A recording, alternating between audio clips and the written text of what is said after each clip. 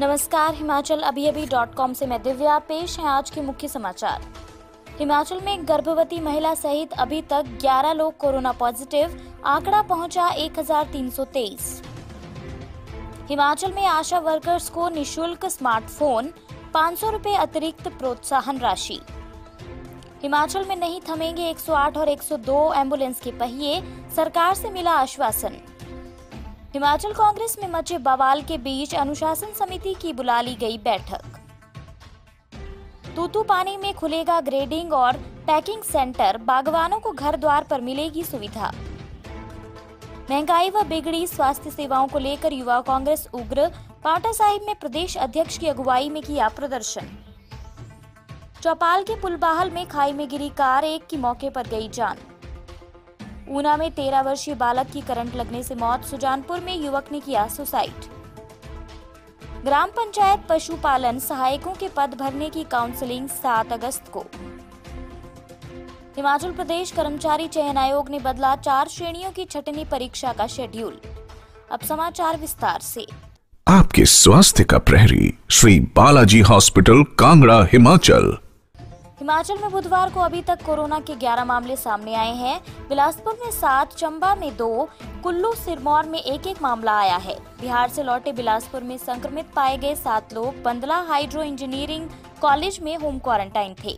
चंबा से दो लोग कोरोना संक्रमित पाए गए हैं। नाहन में 23 साल की गर्भवती महिला कोरोना पॉजिटिव पाई गई है। महिला को Trilokpur covid care centre shift किया जा रहा है। संक्रमित महिला के प्राथमिक संपर्कों के बारे में पता लगाया जा रहा है।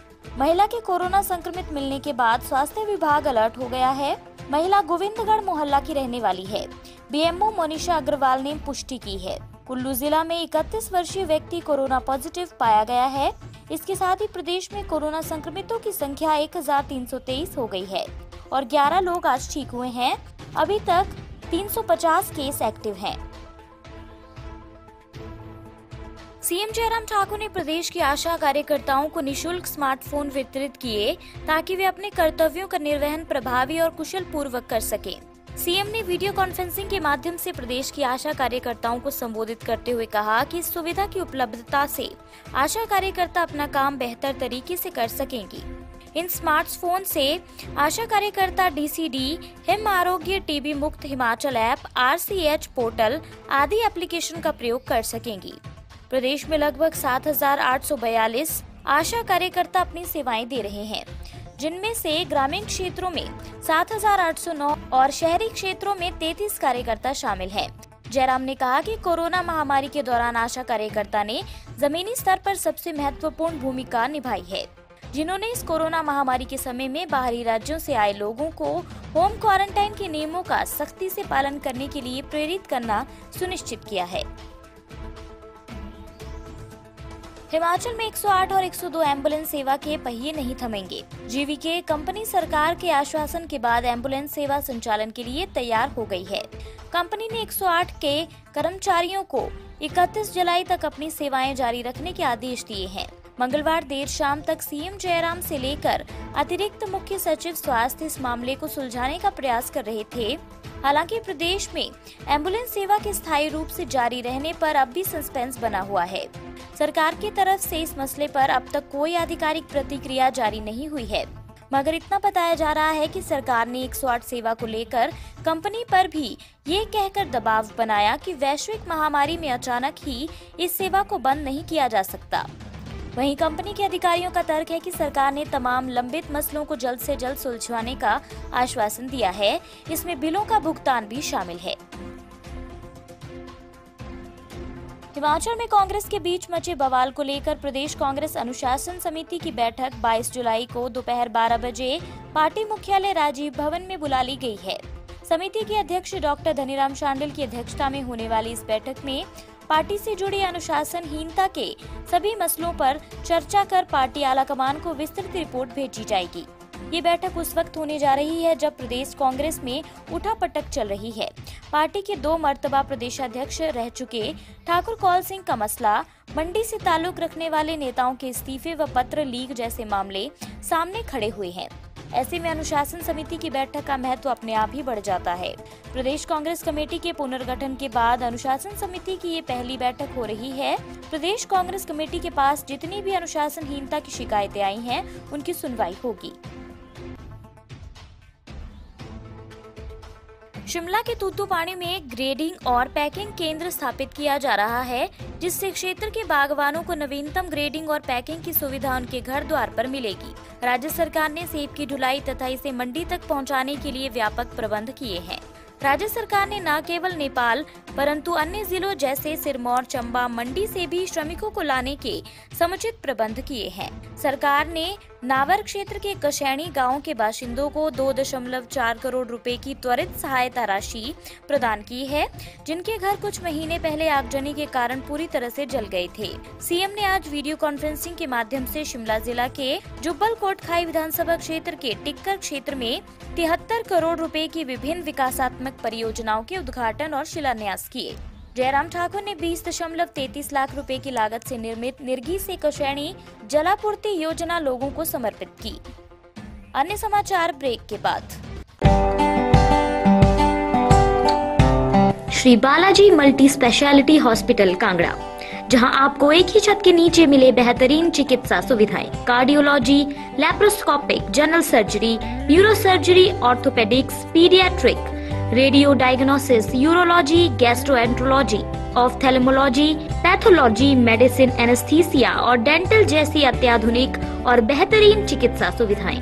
24 घंटे इमरजेंसी सुविधा। नौ बेड के साथ critical care unit cardiac monitor और डिफिब्रिलेटर्स सेंट्रल ऑक्सीजन लाइन और वेंटिलेटर सुविधा। हिमाचल प्रदेश के सबसे बड़े निजी स्वास्थ्य सेवा प्रदाताओं में से एक। Shri Balaji multi speciality hospital Kangra. राष्ट्रीय स्वास्थ्य बीमा योजना के साथ सूचीबद्ध Shri Balaji multi speciality hospital Kangra. BPL परिवारों के लिए अस्पताल में कैशलेस भर्ती होने के साथ ही ईसीएच की भी सुविधा।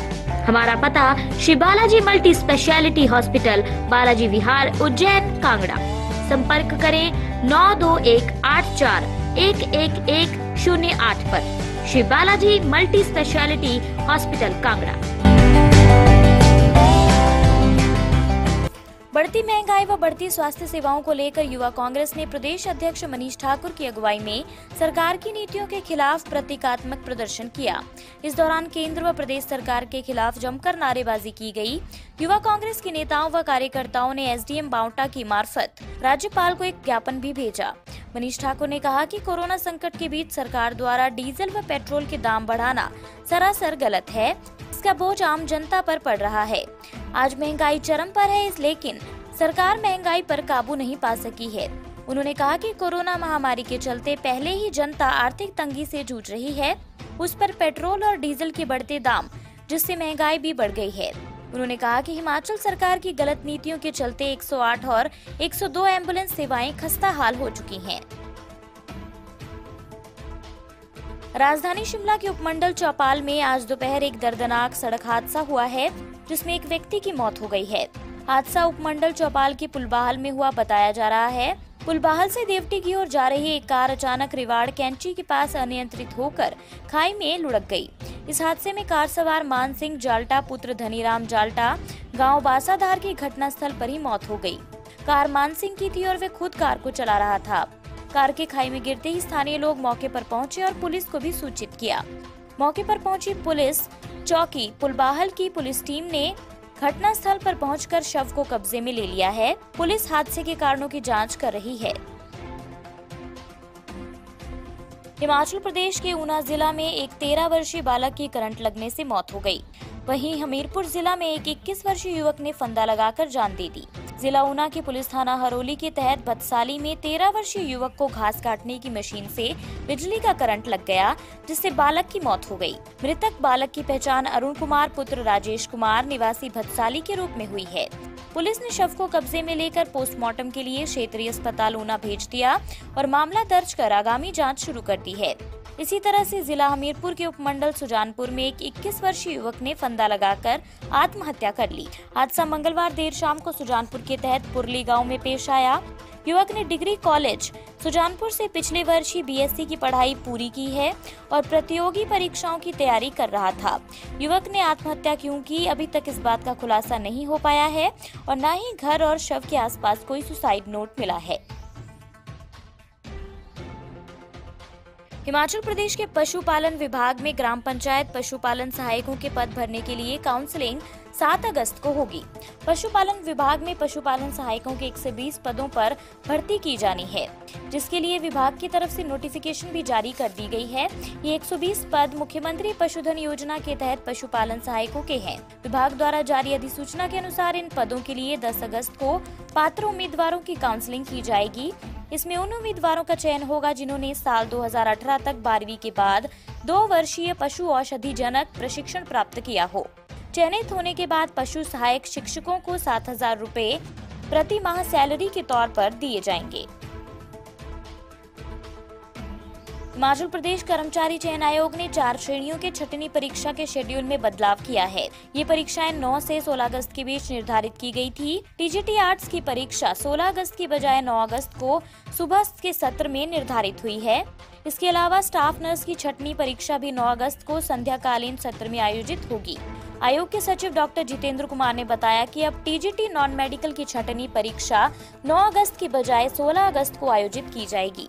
इसी तरह टीजीटी मेडिकल की परीक्षा भी 16 अगस्त को संध्याकालीन सत्र में होगी।